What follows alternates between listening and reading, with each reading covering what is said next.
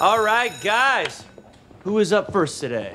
Mr. Schuester, if it's all right with you, I'd like to do my own reinterpretation of my favorite Fleetwood Mac song. Great, Rachel. Which one? Go Your Own Way. It's a song about the painful breakup between Lindsey Buckingham and Stevie Nicks. Traditionally, it's sung by a man, but today, Rachel Berry's gonna put her own feminine twist on it. Hit it. Loving you isn't the right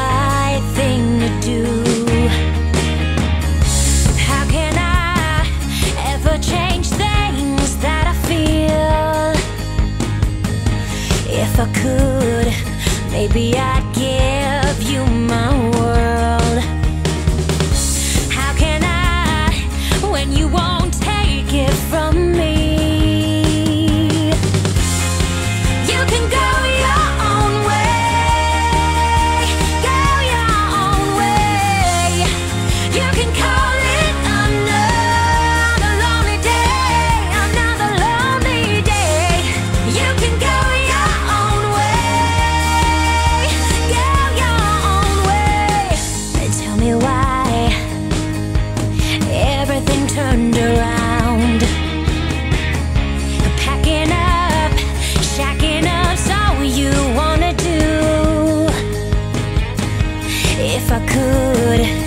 Baby, I'd give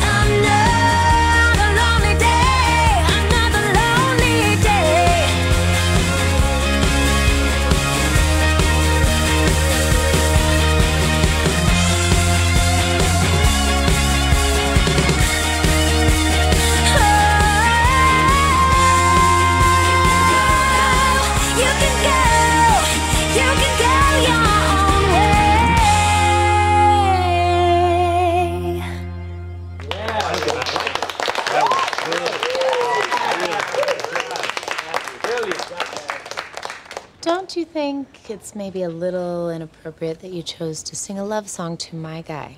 You're such a hypocrite, you little Miss Perfect prom queen. You're a cheater who cheats in cheap motels with Sam. Nothing is going on between Sam and I. Enough, guys. You know, I blame Sam for all of this. And Rachel, too, I blame her. What did I do? I'm sure you did something. Sam was Santana. I mean, why doesn't Sam have anything to say about this? Guilt. Seriously, dude, what you're doing is not cool.